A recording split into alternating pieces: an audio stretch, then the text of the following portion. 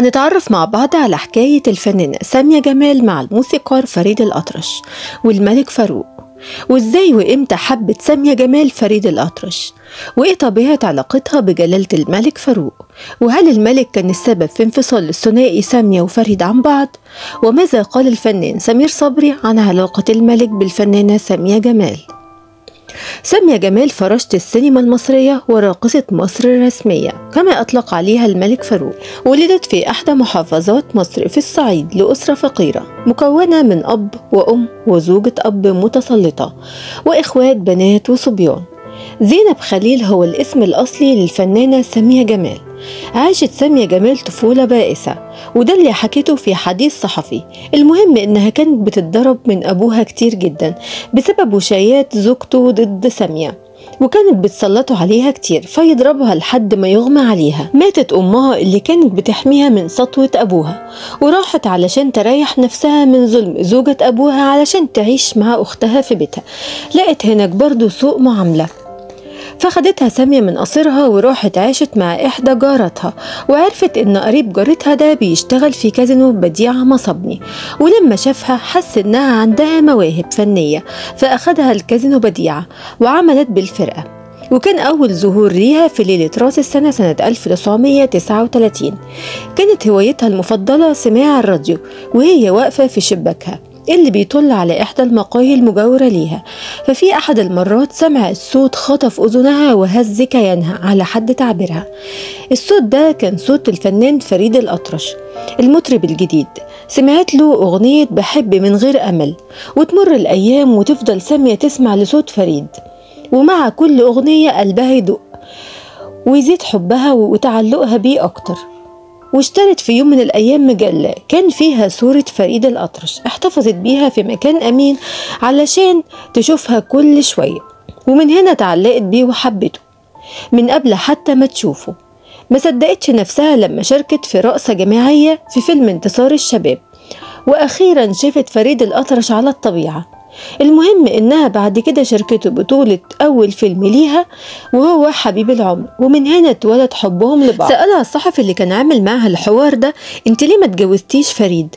قالت إنها عاشت معاه 8 سنين كلها حب في حب. ولما سألته مش آن الأوان بقى علشان نتجوز؟ قال لها كلمة أصابت قلبها وكأنها رصاصة اخترقته. قال لها مش ممكن أتجوز رقاصة. الجملة دي قفلت قلبها من ناحيته تماما زي ما قالت للصحفي. المهم إن سامية بعد ما انتهت علاقتها بالفنان فريد الأطرش اتعرفت على جوزها الأمريكي كينج شيبرد اللي أشهر إسلامه واتجوزها وسافرت معاه لأمريكا. ورجعت بعد, سنتين مطلقة.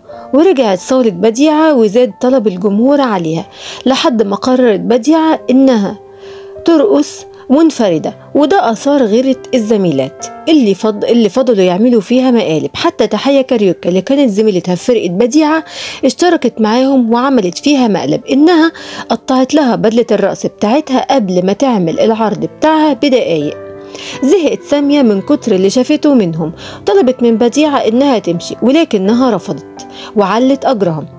المهم إن قبل سامية ما تتجوز كينج شيبرد كان في عمدة بيحبها جدا ولكنها كانت مش مدياله وش لأنها كانت بتحب فريد الأطرش. فعرض على فريد إنه يشترك معاه في شركة إنتاج طبعا بفلوسه بشرط إن سامية تكون بطلة كل الأفلام. وأول بطولة كانت فيلم حبيب العمر وطبعا فؤاد الأطرش كان ليه تأثير جدا على أخوه فريد الأطرش وأسمهان لأن هو كان, كان مدير أعمال فريد. وقال لها أنت فين من أمراء بيت الأطرش؟ وقالت أنا أعتقد إن السبب في انفصالنا هو فؤاد الأطرش. وبالمناسبة الشركة دي انفضت بعد ثلاث سنين لأن فؤاد كان دايما بيوقع بينهم بذكر علاقة علاقتها العاطفية مع فريد الأطرش قدام العمدة ده فأثار غيرة العمدة وفض الشراكة مع فريد. أما بقى عن علاقتها بالملك فاروق فهي شائعة لا أساس لها من الصحة. فاللي طلع الشائعة دي وجود صورة راقصة من ظهرها عند الملك. فالناس راسهم وألف سيف إن دي سامية جمال لأنها نفس الجسم والطول حتى طول الشعر. ففضلوا بقى ينسجوا أحداث وقصص من خيالهم عن سامية والملك فاروق. حتى تحية كاريوكا قالت إن مفيش بينهم أي علاقة. فالسبب فيه ترك فريد الأطرش لسامية هو كلام فؤاد الأطرش الجارح لسامية حتى جمال السكرتير الخاص للملك فاروق لما سئل عن طبيعة علاقتهم ببعض قال إن مفيش بينهم أي علاقة. مفيش بس إلا إنها بترقص والملك فاروق شافها في أحد السهرات في إحدى ملاهي جزيرة كابري وسقف ليها زي أي حد من اللي قاعد فأكتر من كده مفيش أي علاقة بتربطهم. وقال كمان الفنان سمير صبري إن ما كانش بتربطها أي علاقة بالملك فاروق.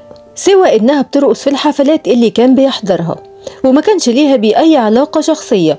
والمرجع الوحيد للصحف الصفراء اللي بتتكلم في الموضوع ده هو كتاب مصطفى أمين ليالي فاروق اللي كتب فيه 25 صفحة عن علاقة محرمة وغير شرعية بينها وبين الملك فاروق. وطبعا ده غير حقيقي. وده طبعا كله متفبرك ومش صحيح. وهي بنفسها حلفت على عدم وجود أي علاقة تجمعها بالملك فاروق.